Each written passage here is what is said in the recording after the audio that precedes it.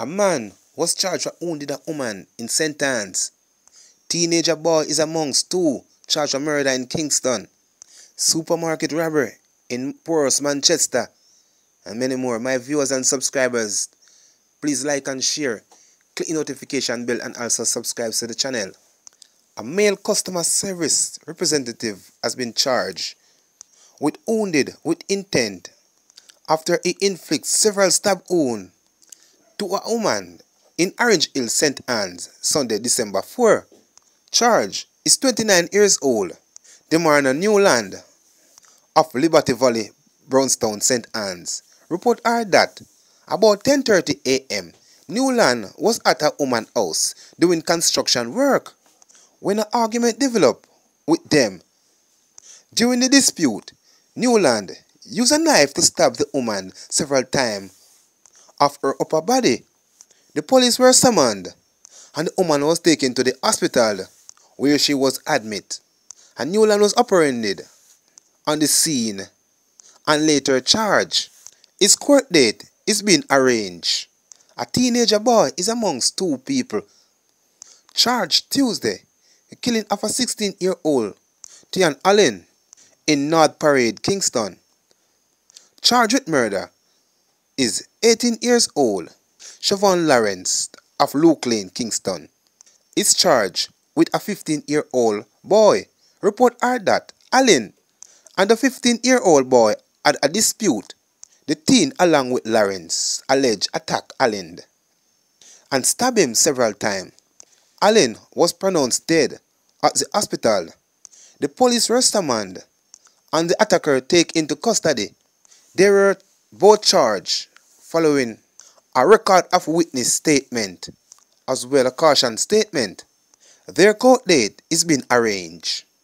Two dead, four in custody after a Manchester man, supermarket robber, four men in custody and two dead after a gun a gunman in supermarket robbery in Porus, Manchester on Friday evening.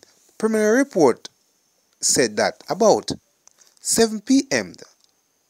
armed robber held up a supermarket said to be operated by Chinese national.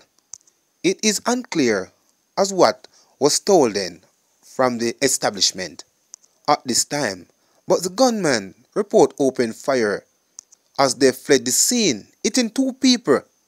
Head of the Manchester Police Superintendent Shane McCullough said, a roadblock was immediately set up to apprehend the hoodlums.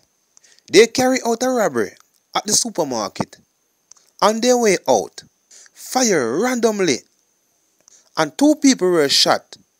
Based on the police was quick set up a roadblock intercepted say four men were taken into custody, while three firearms, a AK-47 and two handgun, and also a ballistic vest was seized, McCullough said.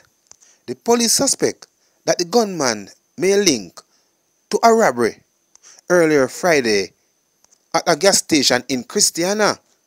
This latest incident following a robbery in Crosskey and Patrick, both in Manchester on Tuesday and Wednesday. On Thursday, two suspects were held in relation to the incident. 800,000 bail for ex-soldier and gun charge.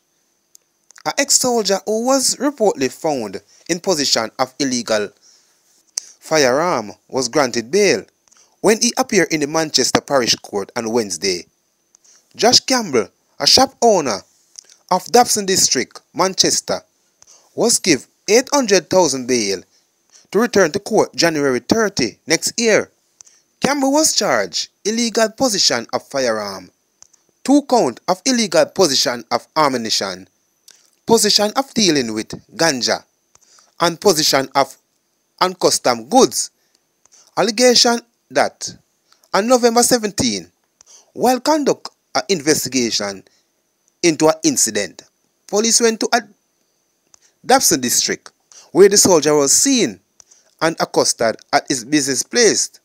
Police said the shop was searched and illegal ammunition, vegetable matter resemble ganja. An illegal cigarette was found.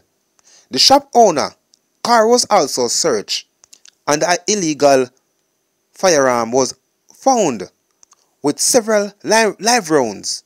The ex-soldier was taken into custody and following further investigation was charged. My viewers and subscribers, thanks for watching. Please like and share and also click the notification bell and subscribe to the channel. See you another time I'm out.